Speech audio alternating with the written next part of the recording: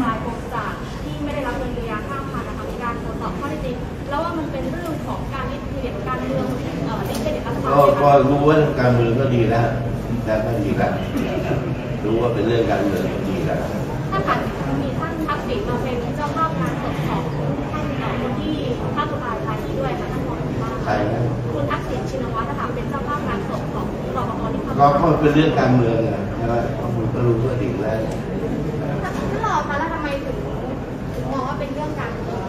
เอากุณเดินก็รู้ว่าดีอยู่แล้วขอบคุณครับขอบคุณครับ